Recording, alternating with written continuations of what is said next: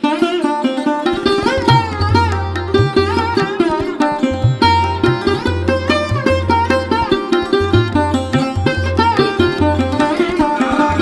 வணக்கம் hi hello எல்லாரும் எப்படி இருக்கீங்க? என் பேர் காயத்ரி தேவி. இன்றைக்கி வந்துட்டு என்னோட வீடியோ வந்து ஃபோர் தேர்ட்டிக்கு ஸ்டார்ட் ஆகுது. எனக்கு நார்மலாகவே ஒரு ஃபோர் ஓ கிளாக் ஃபோர் தேர்ட்டிக்கு எழுந்துட்டுனா தான் எனக்கு கரெக்டாக இருக்கும். அப்போ தான் வந்து நான் கொஞ்சம் ரிலாக்ஸாக ஒரு டென்ஷன் இல்லாமல் வந்து கிளம்ப முடியும் அப்படிங்கிறதுனால. காலைல நான் எழுந்தோடனே மா வந்து நம்ம அரிசி வந்து ஊற வச்சாச்சு அப்போ தான் வந்து நம்ம கொஞ்சம் நேரத்தில் வந்து அரை பத்து மணிக்கெலாம் அரைச்சி எடுத்து வச்சிடலாம் அப்படிங்கிறதுனால குளிக்க போகிறதுக்கு முன்னாடியே நான் வந்து பருப்பு வந்து வச்சுட்டு நான் குளிக்க போயிட்டேன். அப்போ தான் வந்துட்டு நம்ம குளிச்சுட்டு வரக்குள்ளே இந்த வேலை முடிஞ்சிடும் அதுக்கப்புறம் நம்ம சாமி வேலையை பார்த்துட்டு மறுபடியும் வந்து கிச்சன் வேலையை பார்க்கறதுக்கு கரெக்டாக இருக்கும். இந்த விசில் அடங்குற வரைக்கும் நமக்கு டைம் இருக்குது எங்கிட்ட ஒரு குக்கர் தான் இருக்குது அப்படிங்கிறதுனால நான் இதை எடுத்து வச்சுட்டு தான் வந்து அதில் சாப்பாடு வைப்பேன். அதனால் அதுக்குள்ளே நம்ம சாமி வேலையை முடிக்கிறதுக்கு மீதி இருக்கிற வேலையெல்லாம் பார்க்காது கரெக்டாக இருக்கும் அப்படிங்கிறதுனால.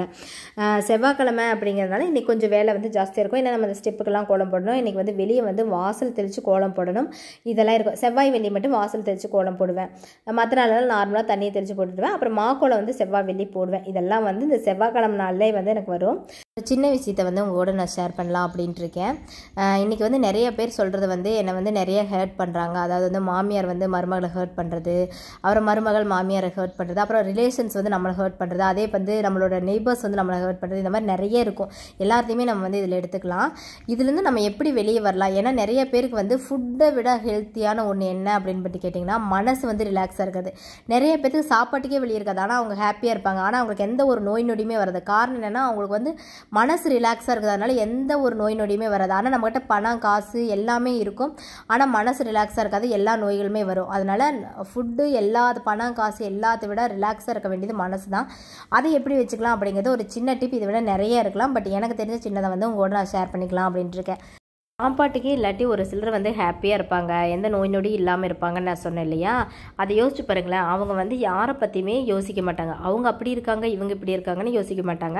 இவங்க அடுத்தவங்கள பற்றியும் பேசவே மாட்டாங்க.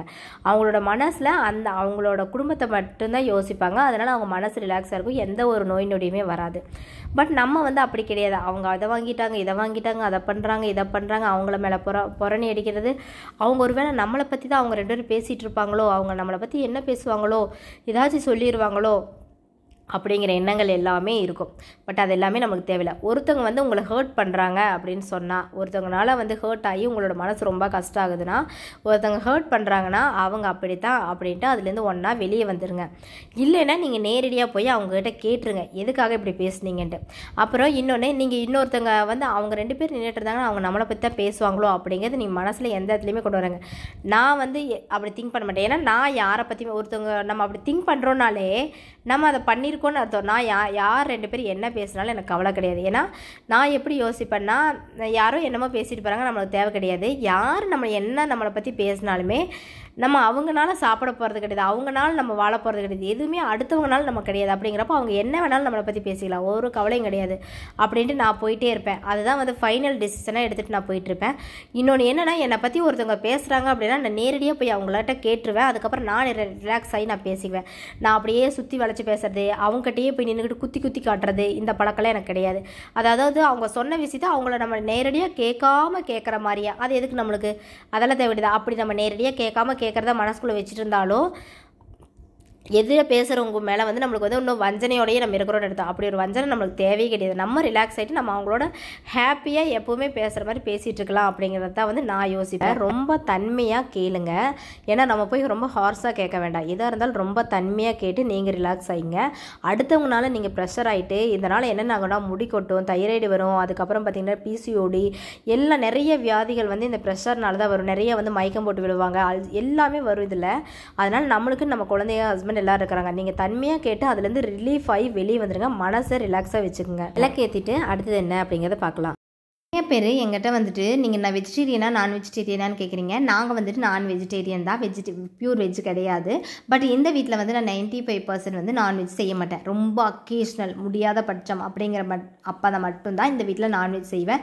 ஏன்னா என்னால் வந்து இந்த வீட்டை ஃபுல்லாக க்ளீன் பண்ணி எல்லாம் பண்ண முடியாது அப்படிங்கிற ஒரே காரணத்தினால. இன்னொன்று என்ன நான் வந்து சண்டே செய்கிறேன்னா என்னால் மண்டே வந்து எனக்கு விளக்கேற்றுறதுக்கு மனசு ஒப்பவே ஒப்பாது. நான் நான்வெஜ் செஞ்சேன்னா இன்றைக்கி காலையில் நான்வெஜ் செய்யணும் இன்றைக்கி நைட் விளக்கேற்ற மாட்டேன். நாளைக்கு காலையில் விளக்காட்ட மாட்டேன். நாளைக்கு நைட்டு நான் தொடச்சிட்டு தொடச்சிட்டு நான் தலை குளித்து அதுக்கப்புறம் போய் தான் நான் வந்து விளக்கேதுவேன் எனக்கு வந்து அது செட் ஆகாது. ஈவன் வீட்டில் வந்து நான் முட்டையும் கூட வந்து நான் செய்ய மாட்டேன். எல்லாமே வந்து அந்த சாட்டர்டே சண்டேஸில் எங்கள் மாமியார் வீட்டுக்கு போய் அங்கே போய் செய்கிறதோட சரி தம்பி அவங்களுக்காக அதுவும்.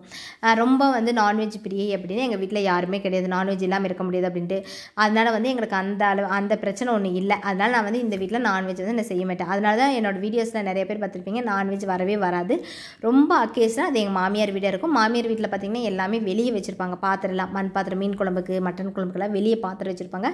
அடுப்பும் பார்த்திங்கன்னா வெளியவே இருக்கும். அதனால் வந்து அது அப்போ இருந்து அப்படியே பழகுனது அப்படிங்கிறனால வெளியே அடுப்பு வச்சு சமைச்சு சாப்பிட்டு வந்துக்குவோம். அதனால எனக்கு கொஞ்சம் ரிலாக்ஸாக இருக்கும். நான் அப்படியே அங்கே நான் சாப்பிட்டேனாலுமே மண்டே ஈவினிங் தான் விளக்கேற்றுவேன் கடகடன் வீட்டை மட்டும் தொடச்சிட்டு எல்லாம் பண்ணுறதுக்கு எனக்கு ஈஸியாக இருக்கும் அப்படிங்கிறதுனால.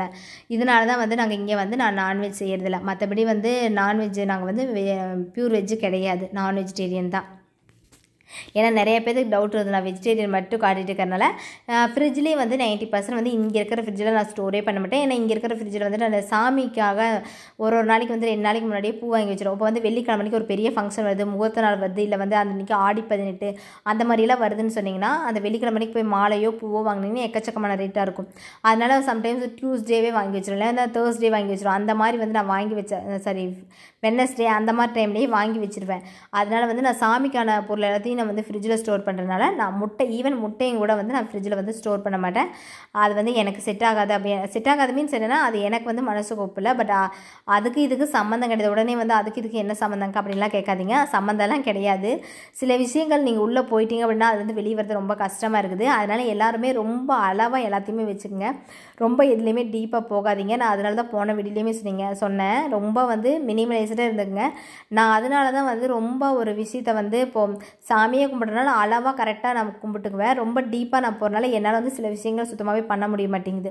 அதனால் இப்போ நான் வெஜிடேரியன் எல்லா வீட்லேயும் செய்யாமல் இல்லை பட் எல்லார் வீட்லேயும் செய்கிறாங்க சாமியை கும்பிட்றாங்க பட் அது எனக்கு வந்து என்னோட மனசுக்கு அது ஒப்ப மாட்டேங்குது.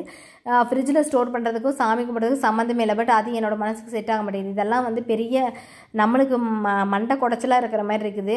யாராச்சும் சொன்னோம்னா நம்மளை என்ன என்ன தான் நீ நினைக்கிற அப்படி அப்படின்னு திட்டுற அளவுக்கு இருக்குது. அதனால் எல்லா விஷயத்தையும் ஒரு மினிமலைஸ்டாக பார்த்துங்க நான் இந்த விஷயத்தை ஏன் ஷேர் பண்ணல எனக்கு சில பேர் சில விஷயங்கள் வந்து நல்லதுன்னு சொல்லி சொல்கிறப்ப எனக்கு அது அப்படியே போய் மைண்டில் ஸ்டோர் ஆகிக்கும். நானும் அதை ஃபாலோ பண்ண ஆரம்பிச்சிருவேன். அதனால் வந்து இதனால தான் நான் உங்கள்கிட்ட இவ்வளோ நாள் சொல்லாமல் இருந்தேன். பட் அதுக்கு இதுக்கெல்லாம் சம்மந்தம் இல்லை. நீங்கள் நான் வெஜிடேரியன் சாப்பிட்ட சாப்பிட்டாலும் forty eight hours or seventy two hours கழிச்சு நீங்கள் எப்போ போல் விளக்கேற்றிக்கலாம் முடிஞ்ச வரைக்கும் அன்னைக்கு நான்வெஜ் சாப்பிட்ட அன்றைக்கே வந்து விளக்கேற்றுறது இல்லை நான் குளிச்சிட்டேன் விளக்கேற்றுறேன் அப்படிங்கிறதெல்லாம் வேண்டாம்.